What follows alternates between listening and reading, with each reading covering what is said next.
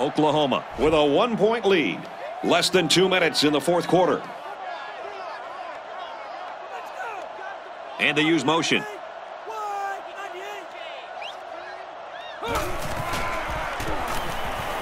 He throws. And this one's broken up. The ball got knocked down by the cornerback. Wow, that kid was on him like white on rice. Peanut butter on jelly, like flies on... Easy, Scooter. Take it easy. There are kids out there watching this game.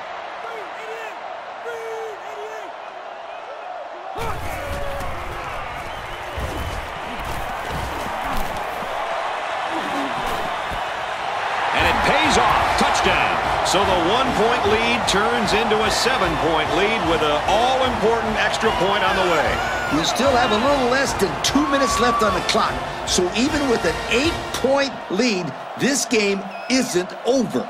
Yeah, but it's going to be difficult because it's going to take a touchdown and a two-point conversion to tie it up. But we've seen that happen many times before, and there's sufficient amount of time left on the clock.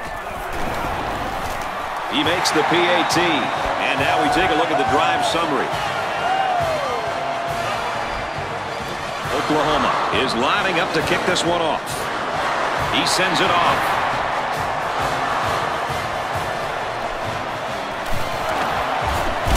And he just got stood up right there.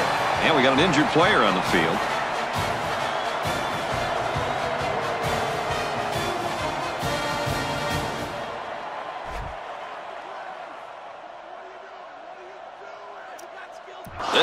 Will start at the 31. First and 10. The defense is in the nickel.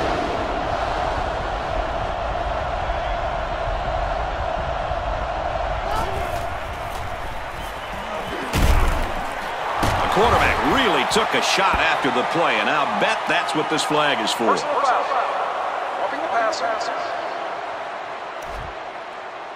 This was just an unnecessary hit. He should have been disciplined for a play like that. His coach won't be too happy. He just cost his team 15 yards.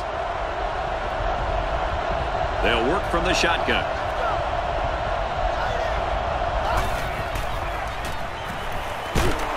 Looks for the tight end, but they can't hook up. Good awareness defensively that time by the linebacker. Not only that, but as you saw, he also made a very athletic move to get to the ball from their own 46-yard line. Second down. There are three wide receivers split out. The quarterback in the gun. Got a man in and out of his hands.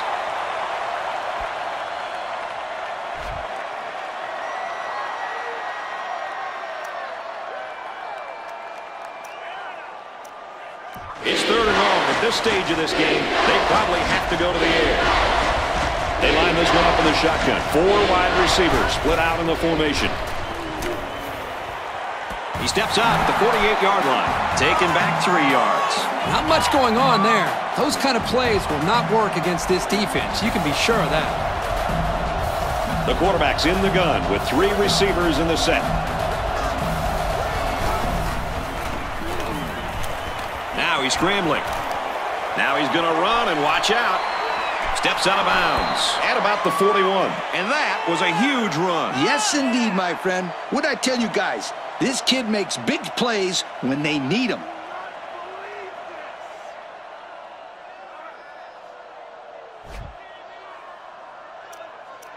From the 41-yard line, first down. Going with the shotgun here.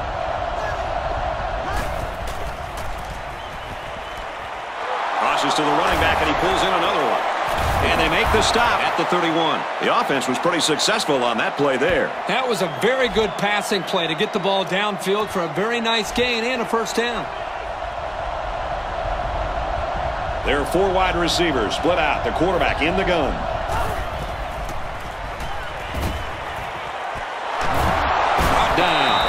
14-yard line. I like it. They're not afraid to try this defense over the middle. The quarterback saw man coverage and gave his receiver a chance to make a play.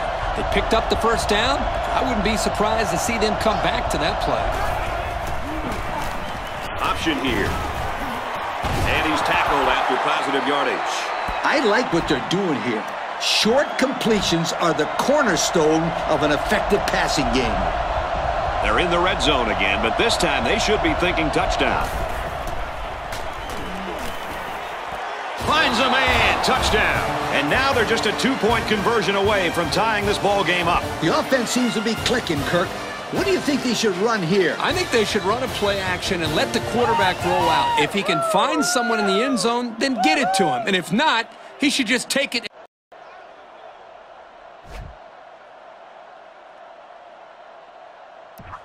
Big, big conversion right here. Time is running out, and they need this one to tie it up. They go with the run, and he's in for two. So here's the drive summary to recap what just happened.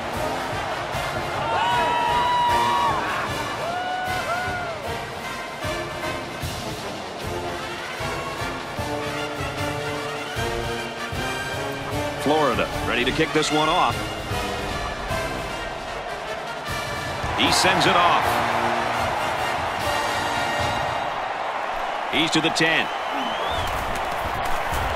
He's taken down at the 29-yard line. Coach Herbie, what's your take right now? This is the rule I've always used, Kirk.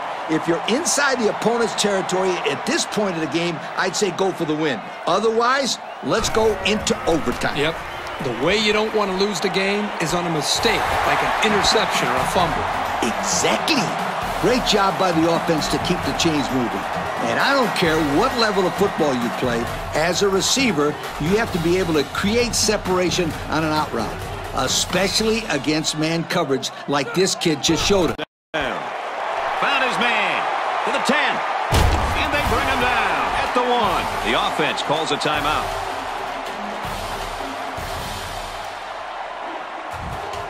Tied up here in the fourth. Now would be the time for a goal line stand. High formation here. And he's tackled at the one-yard line. The offense calls a timeout. Second down and goal. Ball on the one-yard line. They line up in an I. He's tackled at the one. Personal foul.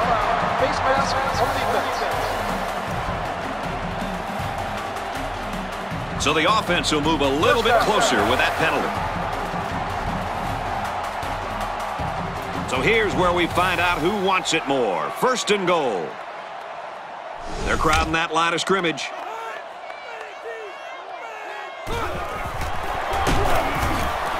Back to him, and he gets nothing this time around. And the defensive end comes up with a big play. Boy, he's quick as a cat, no question. He got tremendous penetration and was able to wrap him up for a loss there. And this field goal is for the game. A miss will mean overtime. And it splits the uprights. So we take a moment here. Let's check out the drive summary.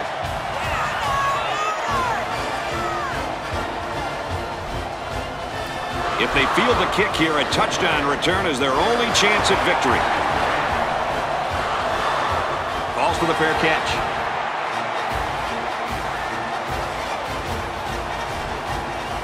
It's now make it or break it time for this offense. They can make up the deficit right here.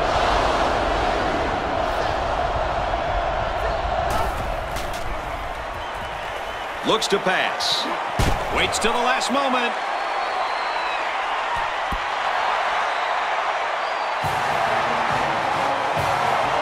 That's going to do it for this one. Our final score, Oklahoma 17, Florida 14.